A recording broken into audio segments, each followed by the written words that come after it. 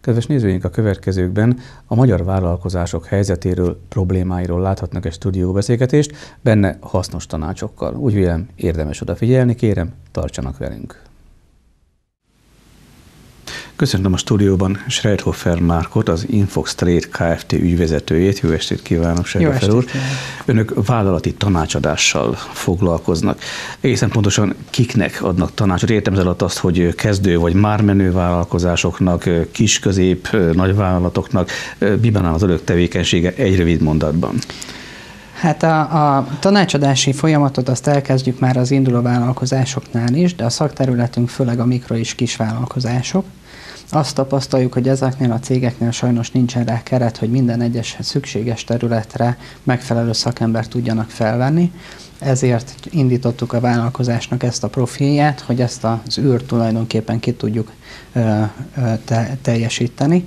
A lényege ennek az egész szolgáltatásnak az, hogy mi nem csak szaktanácsot adunk, hanem segítjük is az adott folyamatokban a vállalkozásoknak a fejlesztését, megelőzve ezt a tevékenységet egy, egy ö, analízis alapján átnézzük az egész vállalkozást, és megnézzük azt, hogy mi az, amit nagyon jól csinál az adott vállalkozás, és mi az, amiben segítségre szorul és így tudjuk meg, megnézni azt, hogy miben tudunk nekik segíteni. Egy vállalatnak, egy vállalkozásnak a tevékenysége rendkívül sokrétű, sok mindenből tevődik össze. Gondolok itt arra, hogy human erőforrás, logisztika, marketing, és sorolhatnák még pénzügy, gazdaság. Önök minden területet átfognak, analizálnak, avagy egy területre szakosodnak? A teljes területet át, átfogjuk. Az analízisünket az Óbudai Egyetem tanárának segítségével állítottuk össze, illetve azokon a területeken, ahol mindenkünk nincsen szakemberünk, oda van megfelelő háttér, akinek partnerek segítségével meg tudjuk oldani ezeket a szükséges kérdéseket. Itt az adás előtt beszélgettünk, és ön azt mondta, hogy a magyar vállalkozások, vállalatok nem működnek jól. Most ez mit jelent konkrétan? Gazdaságilag, pénzügyileg nem működnek jól, vagy, vagy más területen tudják elhelyezni az árujukat, nem jó a humán erőforrás. Melyik terület az, amelyik legproblémásabb? Igazából a, a probléma gyökere az visszanyúlik már az általános iskolához hiszen már az általános iskolában kellene oktatni a gyerekeket alapvető pénzügyi oktatásra illetve nagyon fontos lenne, hogy jogi hátteret kapjanak, illetve meg tudják azt, hogy az a jog az, az tulajdonképpen miről szól. Nyilván egy, egy általános iskolás gyereknek ezt az ő saját nyelvén kell tudni elmondani. Viszont nagyon fontos lenne, hogy amikor az általános iskolával végez, és egy szakmát tanul, akkor a szakma oktatása közben szintén az ő nyelvén, egy 13-14 éves gyereknek a nyelvén kellene a, a, a, el, megtanítani nekik a marketinget, a közgazdaságtant, számítelt, könyvitelt, jogot, ahhoz, hogy ő, amikor kikerül a, pia, a, a, a munkapiacára, akkor egyrésztről egy jól informált munkavállaló legyen, vagy, hogyha ő vállalkozást szeretne indítani, akkor tudja azt, hogy adott problémához kive, kihez tud fordulni. Azzal szembesülnek manapság a, a vállalkozások, hogy nagyon fölgyorsult a világ, iszonyatosan sok az információ, és ahhoz, hogy minden egyes területen én toppon legyek, ez, ez megoldhatatlan. Sajnos az a tapasztalat, hogy minden kérdésre a könyvelőtől várják a választ, van mert, olyan mert könyvelő... vállalkozások nem könyvelője mindenkinek van, tehát kézenfekvő, hogy akkor így hozzáfordulnak. Van. Nagyon kevés sajnos az a könyvelőiroda, aki megengedheti magának azt, hogy minden egyes szakterületre egy szaktanácsadót ö, alkalmazzon, és ezáltal olyan szaktanácsot tudjon adni az ügyfeleinek, ami teljes körű. De nem is a könyvelőknek a feladata minden egyes területre szaktanácsadót adni, hiszen minden egyes területnek megvannak a maga képviselői a piacon, ezeket el kellene tudni érni. Önöknek van-e olyan kiemelt terület, amit különösen problémásnak látnak a vállalatoknál? Igen, sok ilyen terület van sajnos. A, amikor elkezdünk tanácsot adni, az ügyfeleinknek a tapasztalatait mondom, eddig kivétel nélkül mindig a humán erőforrással volt a probléma. Tehát azt látjuk, hogy egy vállalkozó mindig megpróbálja saját maga megoldani a feladatokat. És nem bízik rendesen az embereiben, nem delegálja rendesen a feladatokat, illetve amikor ledelegálja a feladatokat, az adott alkalmazottaknak a megfelelő motivációjára nem helyeznek igazán rendes hangsúlyt. Ennek következménye az is, számítelileg nem lesz teljesen pontos, amit mondok, de sajnos ez a valóság. Tehát akkor, amikor én nézek egy 80 ezer forintos minimálbért, A 80 ezer forintos minimálbérnek 122 ezer forint a bruttója, viszont ami a cégnek kerül, a 156 ezer forint. Na most az a baj, hogy ennek a 156 ezer forintnak a bevételi oldalról meg kell lenni. Viszont, hogyha nekem ennyi bevételem van, amit ki kell fizetnem, ezután jön az állam, és tartja a markát a 27% áfáért. Illetve rájön még az iparüzési adó, a amit szintén be kell fizetnem azután, hogy nekem bevételem van. Tehát ahhoz, hogy egy 80 ezer forint nettó bért tudjak kifizetni, ahhoz 256 ezer forint bevételemnek kell lenni. Na most ahhoz, hogy ezt össze tudjuk rakni, illetve ki tudjuk termelni, ez egy óriási nagy teher a vállalkozóknak. Ebből egyenesen látszik az, hogy motivációs tényezőként a pénzt használni nem mindig gazdaságos. Viszont bár, bár több... bocsánat, hogy beleszólok, azért hiszem a dolgozók nagy része ezt várná el. Tehát ez lenne az első számú motiváció, hogy jól megfizessenek, akkor majd dolgozok, de, Igen. és akkor itt jön a Mondjuk de. hangsúlyoznom kell, hogy nagyon-nagyon széles skálája van már a béren kívüli juttatásoknak, illetve a kafetéria elemeknek, aminek nincsen ekkora hatalmas nagy bérterhe, ugyan nem áfa csökkentő, viszont nagyon jól lehetne vele motiválni, nem használják ki ezeket a lehetőségeket a, a cégvezetők. A másik óriási nagy probléma, hogy az embereknek, csináltak erről egy kutatást, csupán 40% az a motivációban, a teljes motivációt nézve a pénz. A maradék 60% ilyeneket nyilatkoztak a, a megkérdezettek, neki nagyon fontos lenne, hogy ember számba vegyék. Nagyon fontos lenne, hogy elmondhassa a véleményét. Nagyon fontos lenne, hogy az, hogyha ő valamilyen javaslattal él, ezért hálát mutasson neki a, a, az ügyvezető, hogy igenis ez az én cégemet építő, építő jellegű kritika, ezt én szívesen veszem hogy megdicsérjék az embereket. Sajnos ezek, a, ezek a, a motivációs eszközök egyáltalán nincsenek a vállalkozásokban jelen, és ez, ezeket, hogyha rendbe tudjuk rakni, akkor az nagyon jó. A másik... itt, itt jönnek önök a képbe, hogy itt, is, igen. itt jönnek a képbe, hogy feltárják azt, hogy ennél a vállalkozásnál, a vállalatnál ezek a dolgok, motiváció nincs rendben, tehát nem csak a pénz, hanem a, a másik, és mennyire veszik figyelembe ezt a vállalkozók, ha önök ezt mondják, hogy már pedig ez. Ez egy nagyon érdekes kérdés. Azok a vállalkozók, akik felmérték azt, hogy nekik segítségre van szükségük, ők szívesen veszik a másik vállalkozókkal meg mi nem szeretnénk együtt dolgozni, hiszen csak olyan embernek lehet tanácsot adni, aki azt meg is fogadja. Aki úgy gondolja, hogy mindenható, és van ez sajnos számos ilyen példa a magyar vállalkozói körben, ő nekik nem tudunk segíteni.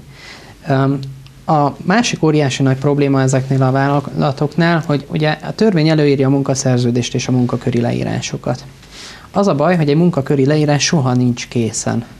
Azért nincsen készen, mert változhat az adott munkakörnek a tevékenységi köre. Ehhez hozzá kellene igazítani a munkaköri leírásokat. Az egész vállalati felépítést kellene rendbe rakni. Ki miért a felelős? Én ezt úgy szoktam nevezni, hogy FFH3-as, ami nem taglal mást, mint mi a feladat, annak ki a felelőse, és mi a határideje. Az a baj, hogy két évi vállalkozói múlt után a vállalkozók beleesnek, általában ez így szokott lenni, egy vállalkozói csapdába, egy vállalkozói vakságba, benne vannak egy adott problémakörbe, egy adott szokáskörrel. És nem elfelejtenek kiülni a problémán kívülre, hogy megnézzék, hogy azt hogyan tudom megoldani másképpen. Általában a, a feladatok túl vannak misztifikálva, problémává vannak fejlesztve, és, és nem látják meg a megoldást. Ezért jó, hogyha jön egy külső tanácsadó, aki meg tudja nézni a teljes vállalatot, nincsen benne a vállalat kultúrájában, úgymond, nincsen benne ebben a problémakörben, ebben a problémahalmazban, és sokkal egyszerűbben meg lehet oldani a feladatokat. Az a tapasztalat, hogy nem kell feltalálni a meleg vizet soha. Tehát önök, mint kívülállók, ugye kívülállnak a problémán, kívülállnak a, a szokásokon, ha jól értem, így berögzült, megkövesedett az évek alatt egy vállalatnál, nyilván egész másképp látják. Ugye, azt gondolom azonban, hogy egy ilyen analízis az feltétlen bizalmat feltételez. Ugye mind az önök részéről, mind pedig a vállalkozó részéről. Azt megkapják minden esetben? E, igen. Ezt a bizalmat, a, tehát ez a tevékenység, ez abszolút üzleti titok burkába burkolózik. Minden, ami elhangzik egy vállalkozó és közöttünk, az üzleti titoknak minősül, ennek a megsértése pedig törvényi retorzióval jár. Amikor a vállalkozásokat nézzük, azt tapasztaljuk, hogy sokkal többet tudunk mi a vállalkozásoknak a gazdasági hátteréről, mint maga a vállalkozó. Ennek egy nagyon egyszerű oka van, olyan adatok vannak az interneten, amit nem is gondolnának a vállalkozók, hogy róluk mennyi minden van fönt az interneten, ami kötelezően számottevő, vagy kötelezően nyilvánosságra hozandó adatok.